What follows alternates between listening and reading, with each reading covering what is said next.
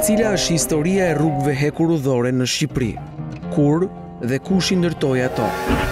Sugjerimi i Kryqit Kuq Amerikan ishte që të vendosin kal për tërheqjen e vagonëve.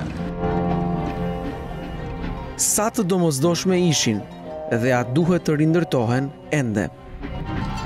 Fillimisht rrjeti hekurudhor nisi nga Durrësi dhe u shpërnda në dy drejtime, drejt Elbasanit dhe drejt Tiranës. Historia e shinave të trenit në Shqipëri.